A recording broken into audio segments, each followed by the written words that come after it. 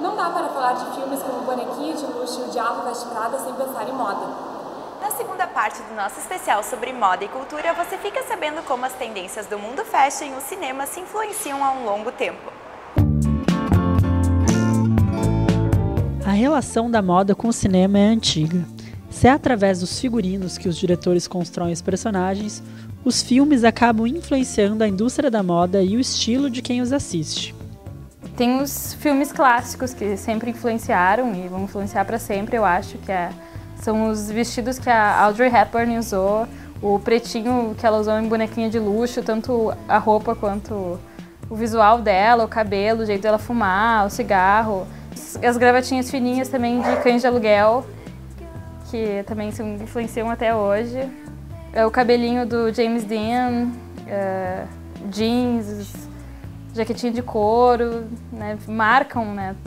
A Marilyn Monroe, os filmes da, da época também, o, o, visual, o cabelinho loiro, descolorido, platinado, das mulheres dos anos 50, também vieram também do filme, o filme ajudou a, a martelar essa, esse estilo também. Kiss on the hand, quite continental, but diamonds are a girl's best friend.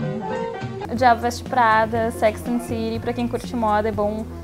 É, tu acaba aprendendo aprendendo um pouco sobre os estilistas, sobre as marcas, sobre a história das grifes, sobre a importância que elas têm na indústria e como elas giram a economia também. Esses filmes mostram um pouco. Essa ligação do cinema com a moda se fortalece ainda mais quando grandes estilistas resolvem criar figurinos para filmes. Giorgio Armani vestiu os gangsters elegantes de Os Intocáveis.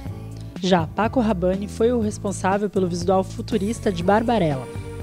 E Yves Saint Laurent desenhou os figurinos do primeiro filme da Pantera Cor-de-Rosa. Mas um dos mais memoráveis foi o estilista francês Givenchy, que vestiu Audrey Hepburn em quase todos os filmes em que a atriz participava. Tem a Givenchy, que vestiu Audrey Hepburn em vários filmes que ela fez, né? O mais marcante foi o bonequinho de luxo, o tubinho, o vestidinho preto. Acho que todo mundo ganha com isso, né? As marcas, as grifes ganham mídia, ganham repercussão e os filmes ganham, uh, enriquecem, né? A produção artística do filme. Nos últimos tempos, os estilos dos seriados de TV também têm chamado a atenção. Tem muita série de TV e elas são super valorizadas, tem muitas premiações, Globo de Ouro também premia os atores de, de séries para TV. E acho que os, as séries têm influenciado muito mais do que. Não, não muito mais do que os filmes, mas tem influenciado talvez tanto quanto.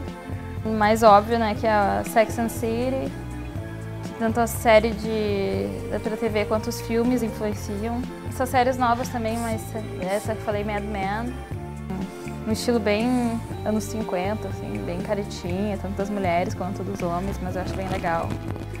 É, eu não acompanho muito, mas eu tenho certeza que Gospel Girls uh, acaba sendo refletida no, tanto no comportamento quanto no, no estilo das meninas se vestirem. Já vi marca de roupa lançar uma linha baseada em, em Gospel Girls, por exemplo. Seja nos cinemas ou seja na TV, os figurinos dos personagens da ficção vão continuar influenciando os personagens da vida real, mesmo que a gente nem perceba. Tem esses tempos eu nem me dei conta, eu botei uma saia azul, uma, uma meia listrada e me chamaram de Dorothy. Eu nem me dei conta, mas acaba ficando subconsciente.